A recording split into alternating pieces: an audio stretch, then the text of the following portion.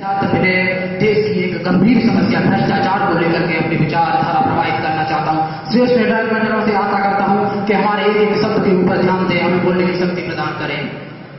भ्रष्टाचार, अगर हम देश की, राज्य सरकार, केंद्र सरकार लोकल अथॉरिटी म्यूनिसिपल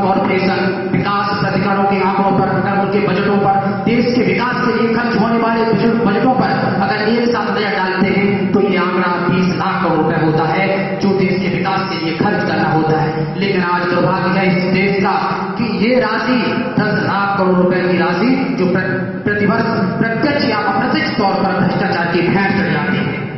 अध्यक्ष महोदया, ये गंभीर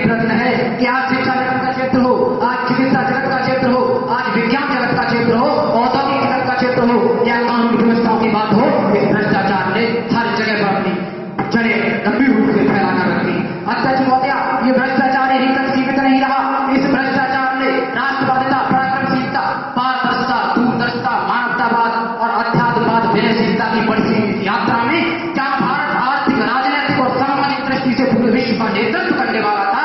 इस भ्रष्टाचार ने भारत की गति को धीमा कर दिया है। भारत के सार्वभौमिक सार्वकालिक बद्ध निरपेक्ष नैतिक आदर्श, मूल्यों को इसने इसकी रीढ़ की हड्डी को तोड़ दिया है। भारत की जनशक्ति धन शक्ति राज शक्ति और आत्म शक्ति को भारत के गौरवशाली अतीत, सामर्थ्यमय वर्तमान और स्वर्णिम भविष्य को सपनों को एक साथ होते हुए इस भ्रष्टाचार ने रोका है।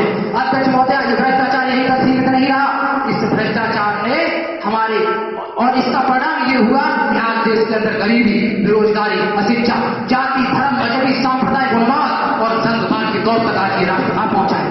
अध्यक्ष महोदय, मैं अंत के परिप्रेक्ष्य में ये बात प्रमाणिक तौर पर कहना चाहता हूँ और इस बात को मैं नेशनल यूथ पार्लियामेंट के अंदर भी कई बार उठा चुका हूँ। अध्यक्ष महोदय, इसका एक सबसे बड़ा स्रोत है हमारी लोकतंत्र व्यवस्था, क्योंकि भारत का पॉलिटिकली सोशल और इकोनॉमिकली क्षेत्र को जो लीड करती है वो अधिकतर लोकतंत्र व्यवस्था करती है, हमारे नेता लोग करते हैं। आज आवश्यकता है कि हम सब लोग संगठित होकर के इस यूथ पार्लियामेंट के माध्यम से ऐसे प्रतिनिधि को चुन करके वहाँ तक भेजे जो इस राष्ट्र के लिए, इस समाज के लिए अच्छा कर सके और इस भारत के परम व्यवसायी जगत गुरु विश्व गुरु आर्थिक और आध्यात्मिक दृष्टि से पूरे विश्व का नेतृत्व करने वाला राष्ट्र इस शुभकामनाओं के साथ बहुत बहुत धन्यवाद।